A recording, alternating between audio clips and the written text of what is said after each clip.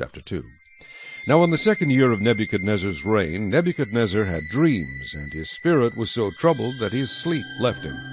Then the king gave the command to call the magicians, the astrologers, the sorcerers, and the Chaldeans, to tell the king his dreams. So they came and stood before the king. And the king said to them, I have had a dream, and my spirit is anxious to know the dream. Then the Chaldeans spoke to the king in Aramaic, O king, live forever! Tell your servants the dream, and we will give the interpretation. The king answered and said to the Chaldeans, My decision is firm. If you do not make known the dream to me and its interpretation, you shall be cut in pieces, and your houses shall be made an ash heap. However, if you tell the dream in its interpretation, you shall receive from me gifts, rewards, and great honor. Therefore, tell me the dream and its interpretation. They answered again and said, Let the king tell his servants the dream, and we will give its interpretation. The king answered and said, I know for certain that you would gain time, because you see that my decision is firm. If you do not make known the dream to me, there is only one decree for you.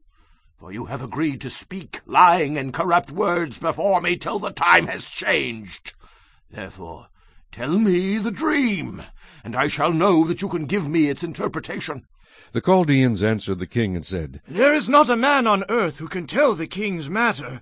Therefore no king, lord, or ruler has ever asked such things of any magician, astrologer, or Chaldean. It is a difficult thing that the king requests, and there is no other who can tell it to the king except the gods, whose dwelling is not with flesh. For this reason the king was angry and very furious, and gave the command to destroy all the wise men of Babylon. So the decree went out, and they began killing the wise men, and they sought Daniel and his companions to kill them.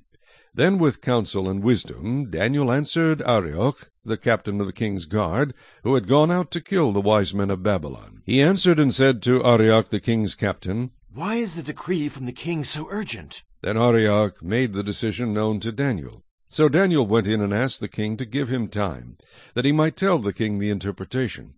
Then Daniel went to his house and made the decision known to Hananiah, Mishael, and Azariah, his companions, that they might seek mercies from the God of heaven concerning this secret, so that Daniel and his companions might not perish with the rest of the wise men of Babylon.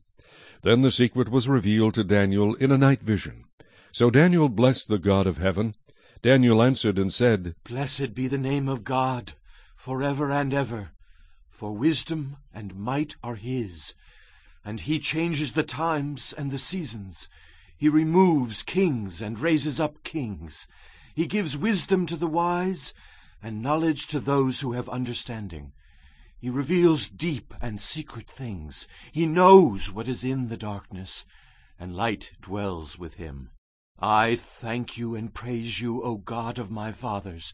You have given me wisdom and might, and have now made known to me what we asked of you, for you have made known to us the king's demand. Therefore Daniel went to Arioch, whom the king had appointed to destroy the wise men of Babylon.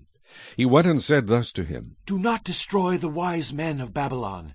Take me before the king, and I will tell the king the interpretation. Then Arioch quickly brought Daniel before the king, and said thus to him, I have found a man of the captives of Judah, who will make known to the king the interpretation. The king answered and said to Daniel, whose name was Belteshazzar, Are you able to make known to me the dream which I have seen and its interpretation? Daniel answered in the presence of the king and said, The secret which the king has demanded, the wise men, the astrologers, the magicians, and the soothsayers cannot declare to the king. There is a God in heaven who reveals secrets, and he has made known to King Nebuchadnezzar what will be in the latter days. Your dreams and the visions of your head upon your bed were these. As for you, O king, thoughts came to your mind while on your bed about what would come to pass after this. And he who reveals secrets has made known to you what will be. But as for me, this secret has not been revealed to me, because I have more wisdom than anyone living. But for our sakes who make known the interpretation to the king, and that you may know the thoughts of your heart. You, O king, were watching, and behold a great image. This great image, whose splendor was excellent, stood before you, and its form was awesome. This image's head was of fine gold, its chest and arms of silver, its belly and thighs of bronze, its legs of iron, its feet partly of iron and partly of clay.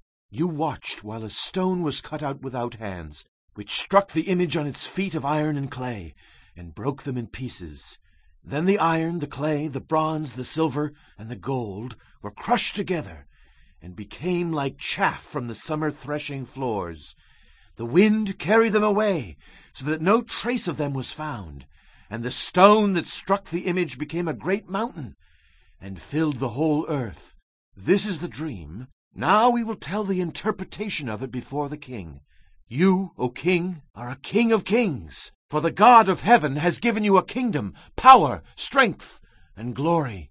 And wherever the children of men dwell, or the beasts of the field and the birds of the heaven, he has given them into your hand, and has made you ruler over them all. You are this head of gold. But after you shall arise another kingdom, inferior to yours, then another, a third kingdom of bronze, which shall rule over all the earth. And the fourth kingdom shall be as strong as iron, inasmuch as iron breaks in pieces and shatters everything. And like iron that crushes, that kingdom will break in pieces and crush all the others.